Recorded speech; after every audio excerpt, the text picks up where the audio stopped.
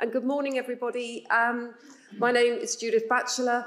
Um, I have uh, recently moved on from um, 40 years spent uh, working in agriculture, food manufacturing, and retailing.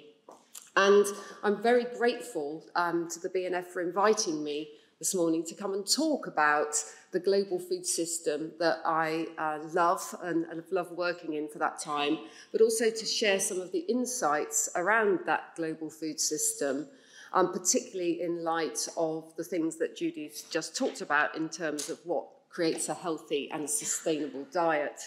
And I want to begin with looking at um, the system with a number of different lenses on it, because one of the challenges we've got in the food system is that it's a system. But historically, we've looked at this system through single lenses, through single issues. And of course, that is not going to solve some of the problems that we have at the moment because they are all interrelated, interdependent. So whether it's um, the issue of plastic and microplastics in our oceans and the fact that by 2050 there will be a greater weight of plastic in the ocean than there are fish in the ocean, whether it's around the billions of tons of food that we waste every year that could be put to much better use. And that's not just the waste of the food, but the resources that went into producing that food, whether it's the um, extraction of fresh water for agriculture, so on and so forth. The system that we have today is not fit for the future and the future population requirements that, that Judy just described in her introduction. So um, what are we going to do about it? Well, the first thing to say is it is complicated. And, and this next slide shows, hopefully,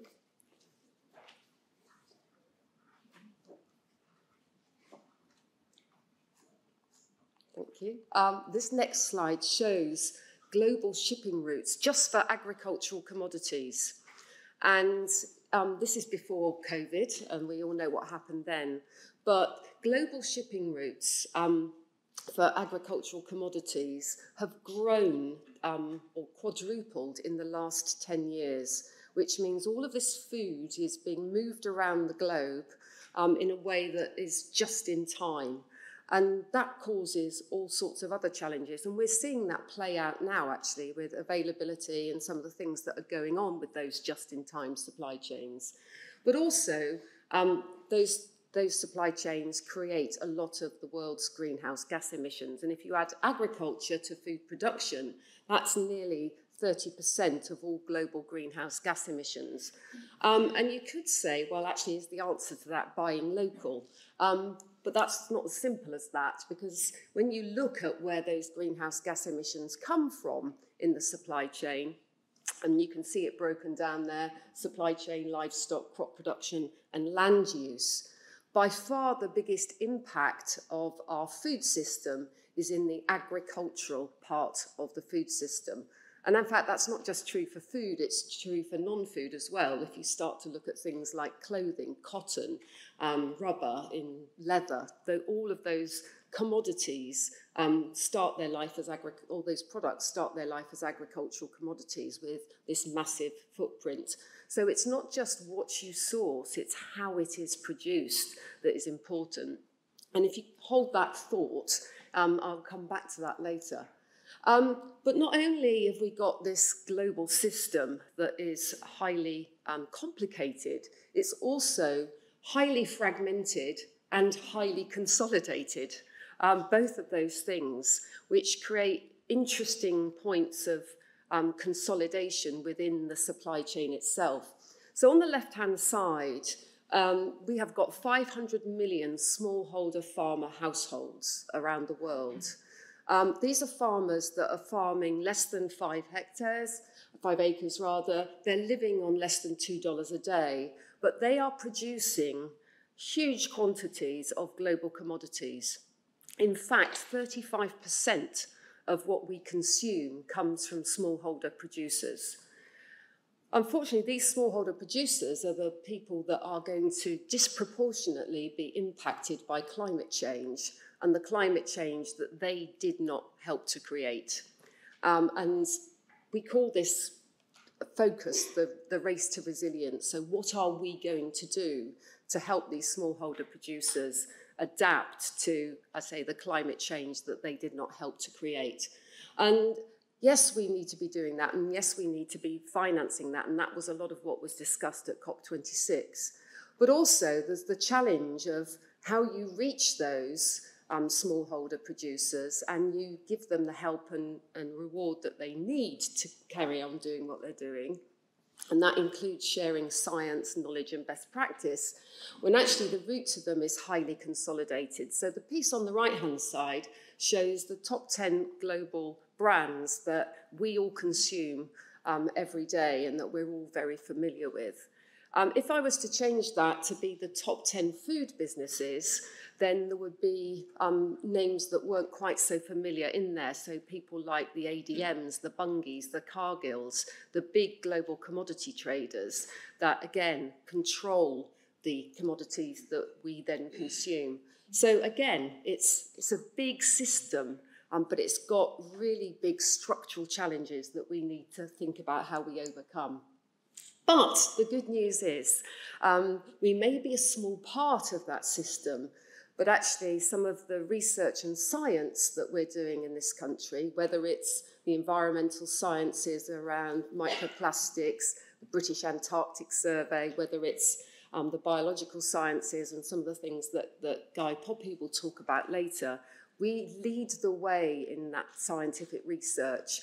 And I know the National Food Strategy um, document, the plan that Henry Dimbleby and his team produced, is not the official government um, uh, national food strategy, but we've got a white paper coming from DEFRA after um, Christmas, hopefully, that will lay out a really ambitious plan for the UK food system that will be world leading. I, I'm confident of that. So there are some really good signs, but of course, all of these things are in their infancy, and we need to move faster and we need to move at scale if we're going to meet the challenge of both climate and nature. But what customers eat is a massive part of that solution. And if we could only um, move people to a healthier diet and a more sustainable diet, that would make a big impact on that 30%.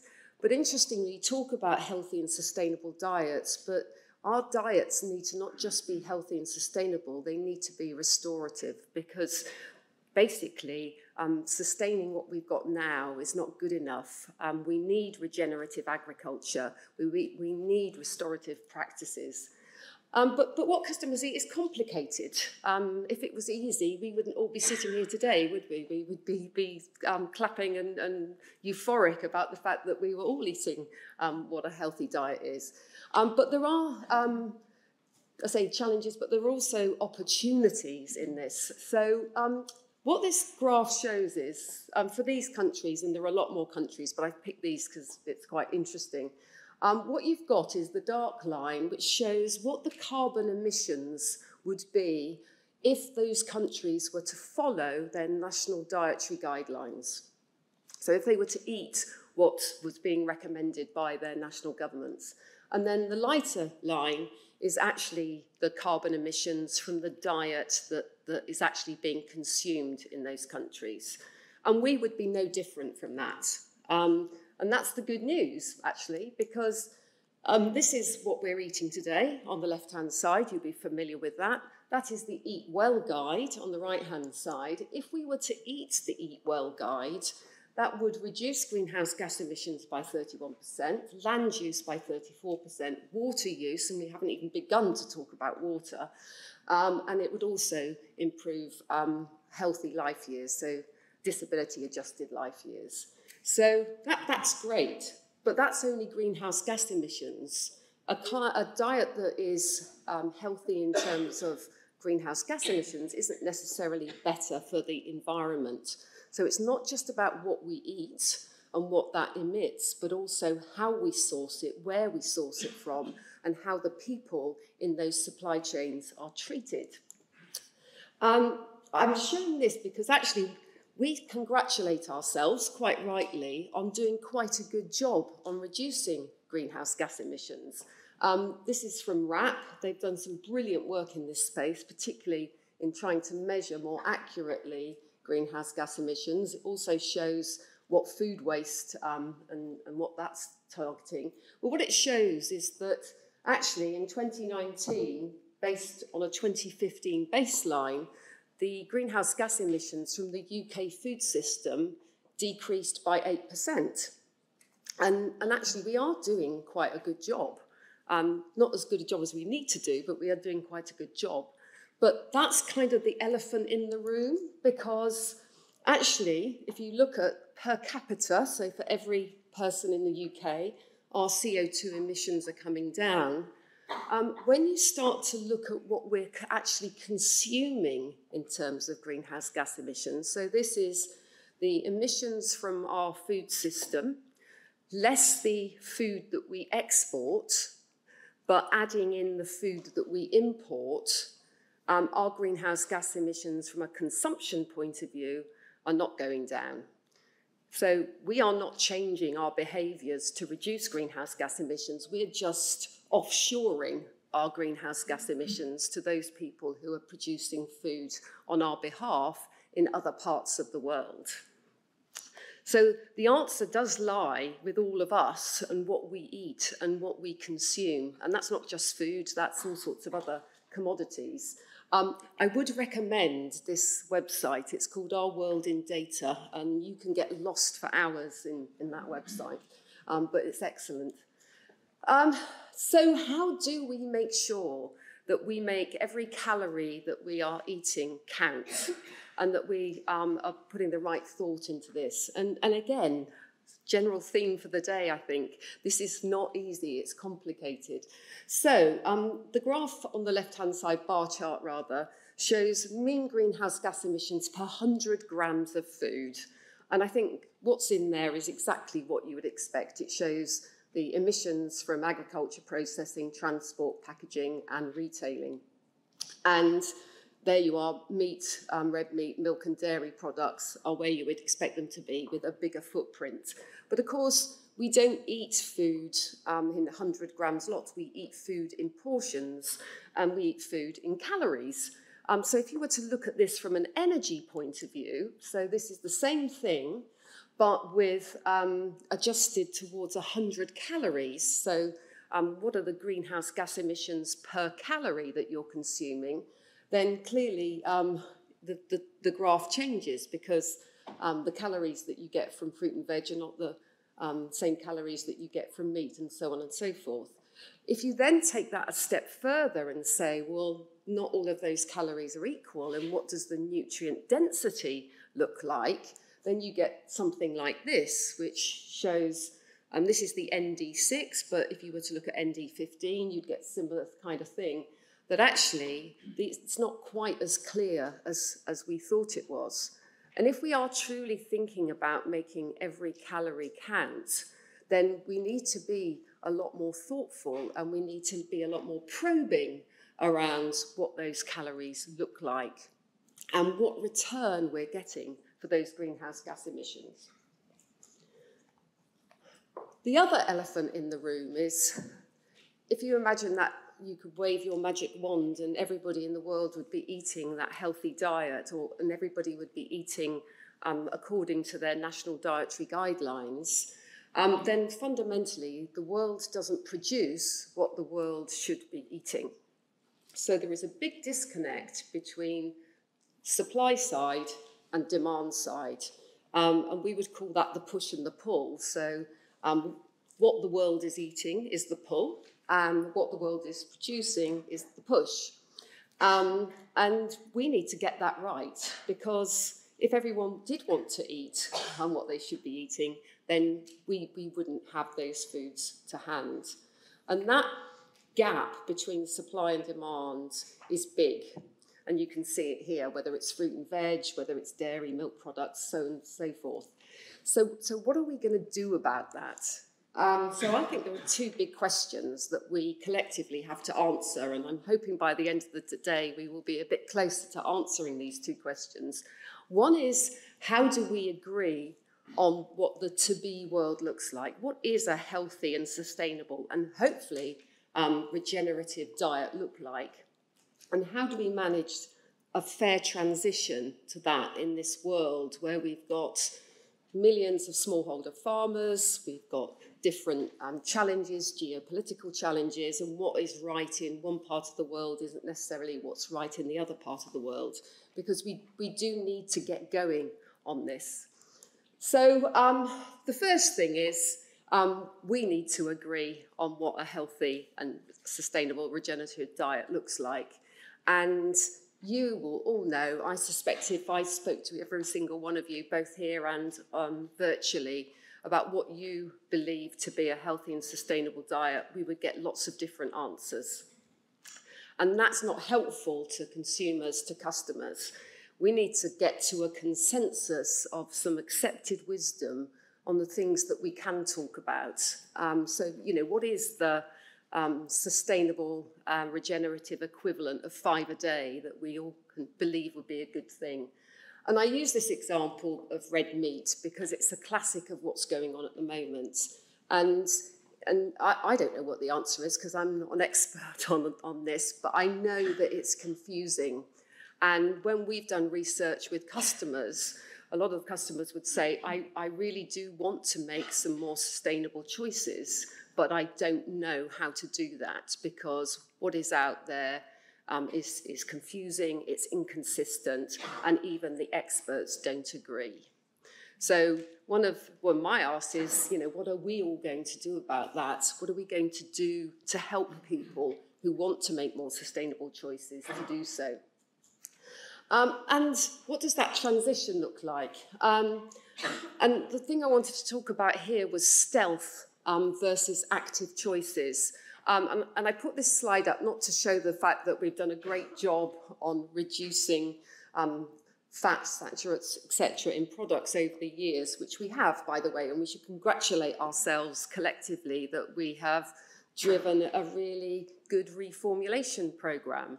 Um, and, and, not the fact that the portion sizes have gone up at the same time, which kind of negates some of that. But the point is that we can do it um, and we can do it by stealth. And it's that question that says if customers knew what we know, and we know a lot more, um, what would they expect us to do? And we should just get on and do that. Um, and if it's true for reformulation of products from a nutrition point of view, it's also true from an environmental point of view and a climate change point of view. We, we know some of these things, and we shouldn't wait for the market to pull that. We should just get on and do it because it's right. And, and to be fair, we have. We've got Marine Stewardship Council fish that is sustainable. We've got deforestation free supply chains and high tech solutions that mean we can assure those supply chains, but we need to do more. Um, but we also know what works in terms of incentivizing customers. So, some amazing um, track records of performance in things like using, um, in this case, Sainsbury's Nectar Points to incentivize customers to eat more fruit and veg and using very, very targeted, specific ways to increase people's consumption. And we know measuring that and continuing to incentivize that, those behaviors stick over long periods of time, and we can measure that. Um, the same with giving people inspiration around um, great tasting food. Um, a lot of work done with the, the, World Resources Institute on how vegetarian options are described and actually the uplift you see when you actually don't talk about something being a vegetarian or a vegan product. You just talk about how delicious it is and you use lovely evocative um, photography. And linked to that, um, probably my favourite subject is the topic of data and labelling. And the whole piece around data and labelling is um, we don't have it. And you, you all know because you've lived through nutrition labelling that getting to a definition of what fibre is, um, agreeing the methodology for testing for fibre, and then agreeing what those typical values look like so that we can create a nutrition label took us the best part of 25 years. And we haven't got 25 years to work out what that looks like for carbon and environmental labelling. We need to get on with it now. And, and that doesn't exist There, there are no standards either in the UK or globally. There are no definitions. Um, and that means it's a bit like the Wild West out there. And that's not good because we know, according to some work from Deloitte, that 67% of customers want to make sustainable, more sustainable choices, but they don't know how to, and we can't give them that information. I'm hopeful there'll be something in the white paper on this. I don't know. I'm keeping my fingers crossed because this is the big unlocker. So think back to that chart that showed consumption, emissions based around our consumption, and the fact that we eat, we eat more healthily, we can reduce greenhouse gas emissions and impact.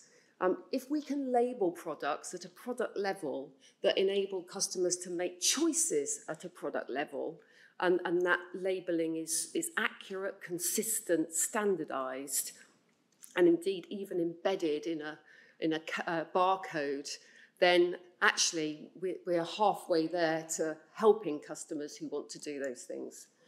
Um, there's lots of things out there, as I say, um, lots of people assessing this, um, and the jury's still out on what that might look like. But um, the research that, that I've done historically in this space, or um, we've done at Sainsbury's, would say that MTL style approaches are the ones that customers like, but that's because we've probably trained them well with nutrition labelling. Um, but let's say a lot, a lot of space to go on this one. So, in summary, um, i have probably um, got the message across, I hope, that the food system is um, complicated. It needs to undergo a massive transformation to enable everyone to eat better.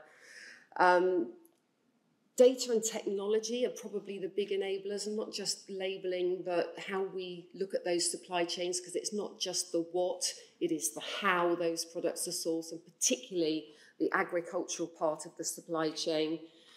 Um, but good science, transparency, and rigour are really key to this. And I think that's, that's about all of us and the role that we play in making sure that we can reach a consensus on what a healthy, sustainable, and regenerative diet looks like. Um, we know that for an increasing number of people, the food choices they make and the pounds that they spend in a supermarket are a vote for the kind of world they want to see in the future. So I'd like to think that we can all play our part in making that a reality. Thank you.